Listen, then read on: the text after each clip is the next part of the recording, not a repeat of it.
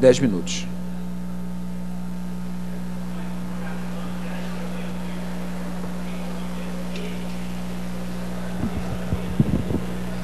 É, senhor presidente, na verdade o senhor entendeu errado o que eu disse.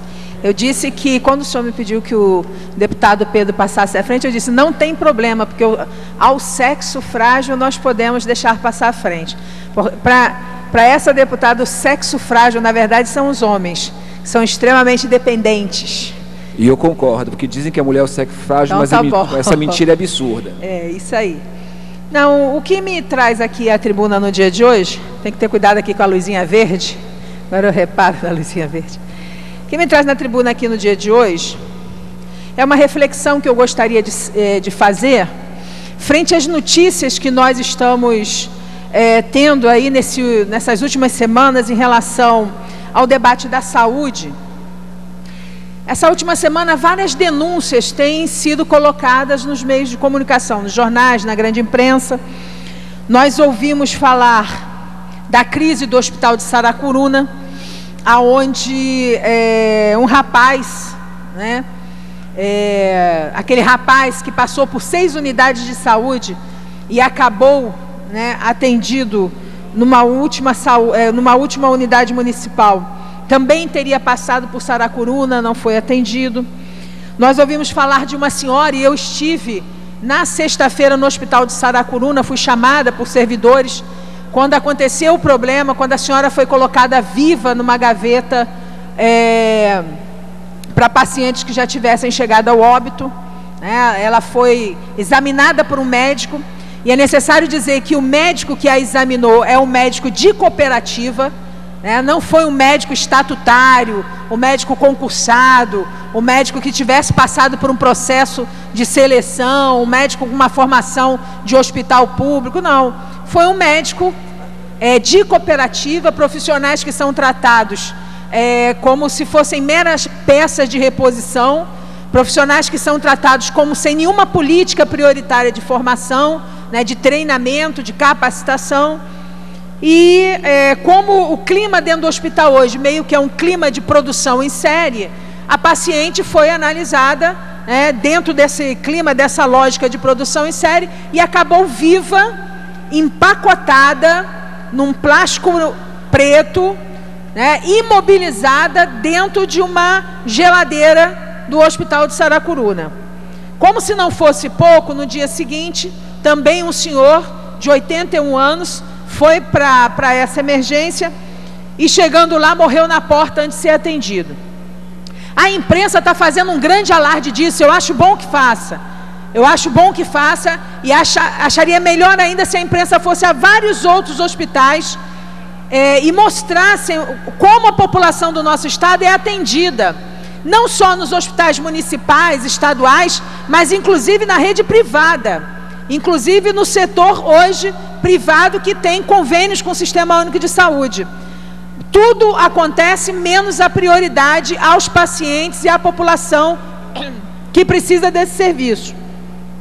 Mas existe uma grande propaganda, e inclusive é, o secretário estadual de saúde foi, após esses episódios, ao hospital, declarou uma intervenção e disse que a partir de agora o hospital de Saracuruna vai funcionar plenamente. O diretor responsável por tudo que aconteceu não foi exonerado, permanece lá, né? É, os servidores não foram chamados para se informar o que está acontecendo. A Assembleia Legislativa, a Comissão de Saúde não foi chamada, pelo contrário, a deputada enfermeira Rejane, cumprindo seu papel constitucional, esteve no hospital foi tentar saber o que estava acontecendo no hospital, tirou algumas fotos e foi quase que agredida por um funcionário do hospital que obrigou-a a apagar fotos do seu celular, conforme está dito nos jornais do dia de hoje. O que por si só já é um grande absurdo, o que por si só já merecia que essa casa fizesse um pronunciamento em defesa das prerrogativas constitucionais da deputada enfermeira Rejane, como de qualquer outro deputado que, cumprindo seu papel constitucional, tenha que fazer uma fiscalização. Queria ver, mandar eu apagar alguma coisa dentro de qualquer lugar. Queria ver como fizeram lá em São Gonçalo, se não ia parar todo mundo na delegacia. Porque eu acho que o deputado tem as suas prerrogativas e tem que fazer valer as suas prerrogativas. Né? Nós brigamos pelas prerrogativas constitucionais que nós temos. Então, existe um debate em torno da saúde, existe um debate em torno dos rumos do hospital. E foi colocado também pela imprensa nessa semana a questão da regulação das vagas dos hospitais. Por que, que esses pacientes chegam graves nos hospitais e por que esses pacientes não conseguem ser levados para outros hospitais de referência, onde eles possam ser atendidos dentro da, especi, da especialidade né, para a qual eles estão acometidos naquele momento? Como foi o caso do rapaz que andou às seis unidades de saúde e não conseguiu que a, que a regulação o levasse a tempo né, é, para uma vaga onde ele pudesse ter um neurologista, ter uma cirurgia e não ter entrado no estado tão grave quanto que ele entrou. E aí nós fomos pesquisar no sistema CFM, que é da, do, do governo, são dados do governo, e nós vimos que para esse ano, a verba que tem para organizar a regulação, a central de regulação, são 882 mil reais para o ano todo. Nós estamos em setembro, entrando em outubro. Sabe quanto até agosto o governo gastou com a, a central de regulação, que é o coração do sistema de saúde, que é onde tem que funcionar para existir uma harmonia no encaminhamento de pacientes, né, para leitos, para ambulatórios, enfim, o, o sistema de regulação é o coração do sistema de saúde. Então, de 882 mil que o governo teria para gastar, até agora, até esse mês, o governo gastou 564 reais. Não, não, não fiquem. É verdade, 564 reais, menos do que um salário mínimo, né?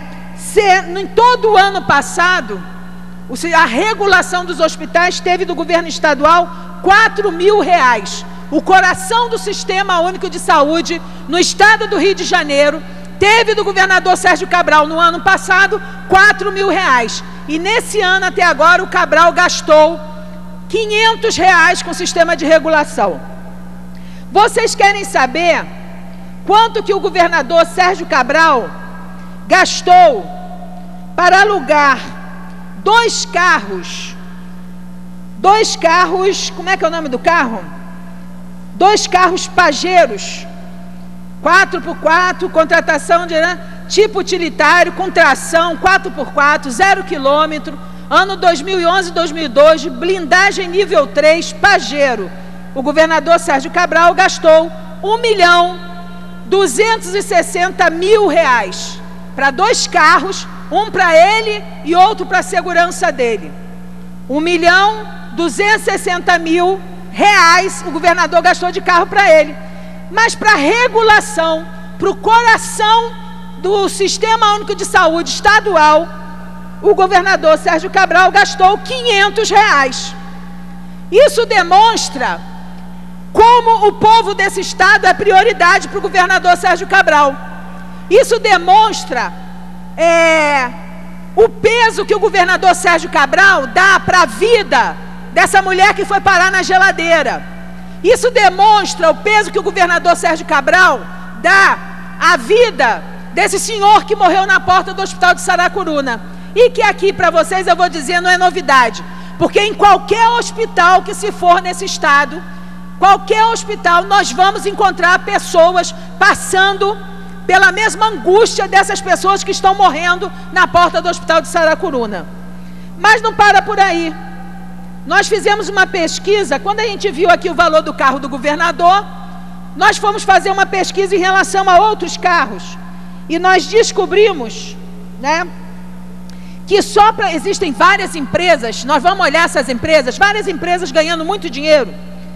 Tem uma chamada Velox, Velox Transrio, só de carros para essa empresa de aluguéis foram 28 milhões 949. Para Full Log Transporte, 16 milhões 515. E não são carros, não são qualquer carros. Tem, por exemplo, um contrato aqui dessa Velox que foi feito pela Secretaria de Obras. É um contrato novo que começou agora em setembro. 10 carros Citroën é, C4 Palas. São carros de luxo. Eu quero saber por que, que é prioridade para o governo do estado ou para as secretarias, seja a Secretaria de Obras, seja a Secretaria Militar da Casa Civil, fazerem contratos com carros de luxo, né? Então aqui tem um contrato da Velox Transporte e Serviços com a Secretaria de Obras, que custou R$ 556.200, né? São 10 carros Citroën C4 Palas.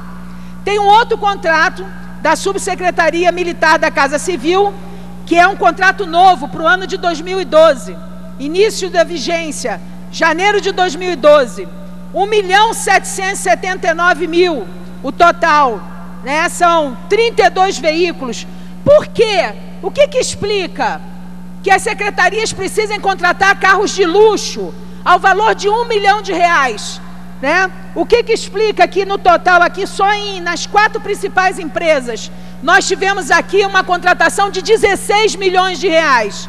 Por que, que a Secretaria de Saúde do Rio de Janeiro tem que pagar 3 milhões de reais em aluguel de carros de luxo e o coração do sistema de saúde, que é a regulação, esse ano tenham só 500 reais.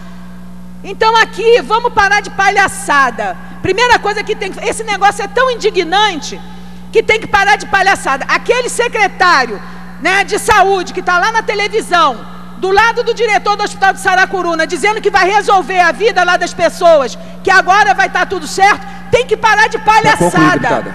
Para concluir, concluir. Tem que parar de indignidade. Porque quem gasta 500 reais com regulação e gasta mais de 20 milhões de reais num contrato, 28 milhões no outro, e só de carro para o governador Sérgio Cabral, né? Gasta essa soma aqui de 1 milhão e 260 mil reais, vai dizer que está preocupado com o povo que vai resolver o quê? Isso é uma palhaçada. O que o governador Sérgio Cabral está fazendo é uma palhaçada, é uma indignidade. Se houvesse dignidade nesse Estado, esse secretário de saúde já teria caído. Se tivesse dignidade nesse Estado, o diretor do Hospital de Saracuruna já teria caído. Se tivesse dignidade nesse Estado, todas essas empresas aqui, que estão ganhando dinheiro em nome da saúde, da vida do povo do Estado do Rio de Janeiro, já teriam sido presas né? E esses contratos aqui já teriam sido terminados. Então vamos parar de palhaçada, de discurso republicano na televisão dizendo que está a favor da saúde do povo. Porque esse circo que está montado em cima dos hospitais é só para fortalecer a entrada das organizações sociais. Né? Então eu quero só demonstrar, concluindo, né, demonstrar a minha indignação com esse tipo de palhaçada que ainda tem meios de comunicação que botam para o povo ver mas que na verdade estão colocando, porque também estão ganhando dinheiro do Estado para enganar a população do nosso Estado em relação ao que, que objetivamente está acontecendo na área da saúde e com as finanças do nosso Estado. Muito obrigado, senhor presidente.